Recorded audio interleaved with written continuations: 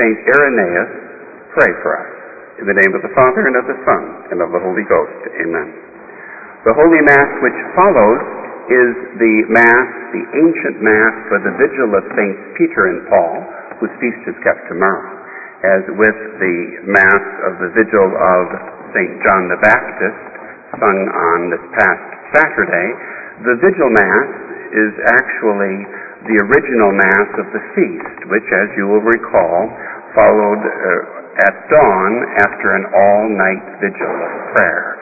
So the church in Rome would keep all of her very great feast days. So in a sense, we transport ourselves in spirit to Rome and prepare ourselves as Roman Catholics to keep the very great feast of these two great apostles of our church, of the church, Peter and Paul. The Mass of the Vigil has about its character today a penitential one. The priest wears purple vestments, and there is no Gloria or Creed sung. And that is good because it enables us to remember and make a little reparation for all of the sins against the apostolic see that are committed today by so many other wise, well-meaning Catholics who would say that a pope could be teaching heresy and you could resist the pope and fight about it and all the rest. A terrible situation in which the church finds herself. One of the victims is our belief in the papal infallibility and the infallibility of the Catholic Church, which is sullied or stained in this sense. And actually, true Catholic doctrine, Orthodox teaching, is denied and lost. We are indeed in a terrible state. As Catholics, we need very much St. Peter and Paul. Let us offer them our, our sincere homage of reparation this evening and prepare ourselves to keep tomorrow and during its octave a very beautiful feast of Saints Peter and Paul. The saint who was in just more recent times placed on this date, Saint Irenaeus, is a saint who's very worthy to occupy this position the day before the great Apostles' Feast because he was an early Catholic martyr and bishop, very devoted to the See of Rome, to which at least twice he made a pilgrimage from faraway France in order to beseech the Pope uh, to attend to certain matters of the Church. Now, the name Irenaeus means peacemaker. And that is exactly what he was. He's a saint who recommends himself to us today because by his character and his uh, personality and by his style, he tried his very best to make peace. And yet at the same time, by his doctrine, there was no question of any compromise. Very often today, those who want no question of compromise by their style or personal character, are far from promoting peace. And because of those secondary issues, why then sometimes the unity of the church is hurt, and there are divisions and splits and everything else. St. Irenaeus is a wonderful saint against that. In other words, how without compromising a single comma in the, in the whole beautiful uh, uh, treasure of our Catholic faith, could we, at the same time, keep as many united with us and with the church? St. Irenaeus shows the way.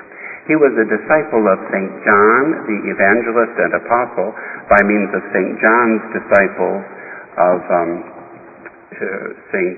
Polycarp of Smyrna in particular.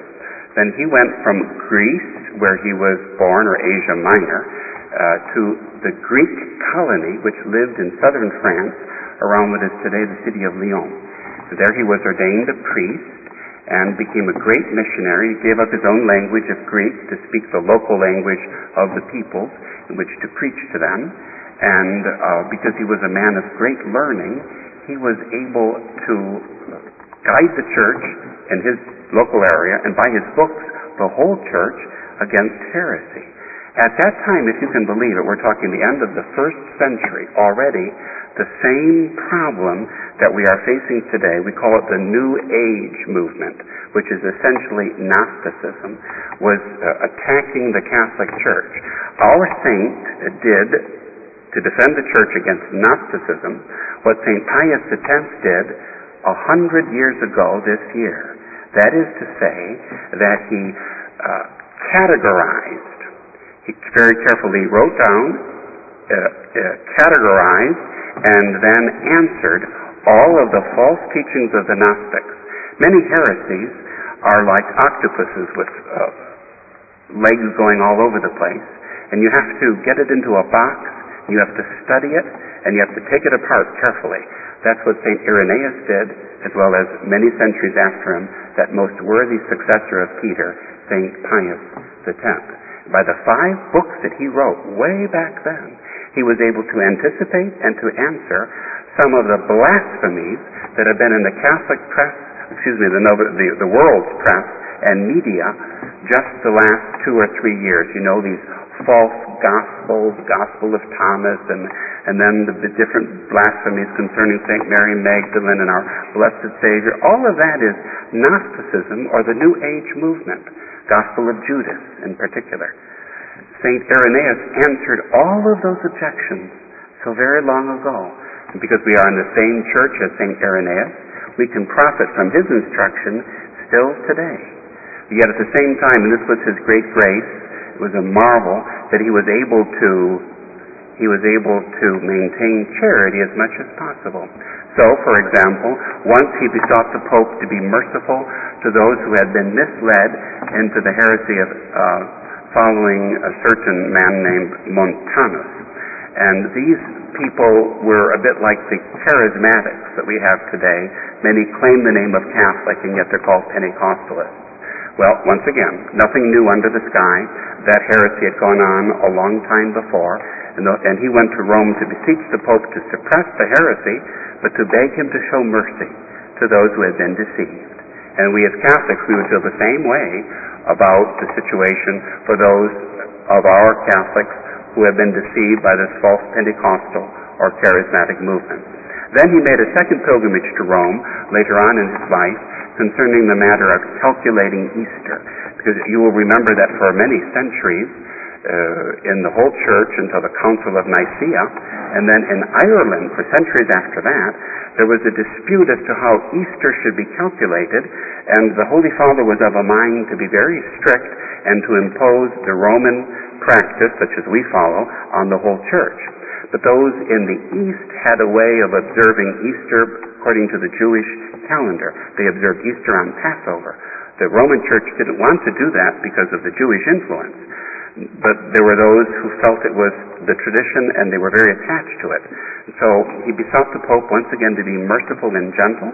The situation was just left alone, and eventually, by the time of the Council of Nicaea in the fourth century, why then the matter was all settled and resolved. He was a practical peacemaker, as much by his initiative as by his own character and personality, and yet what a magnificent foe of heresy, St. Irenaeus. Imagine, we are still benefiting today from his inspired writings uh, at the very end of the first century. That's the glory of Catholicism, which is so sullied today. Let us beseech St. Irenaeus in particular to pray for us to make us worthy Roman Catholics, worthy children of the apostles and the saints, as indeed we are. God bless you. In the name of the Father and of the Son and of the Holy Ghost. Amen.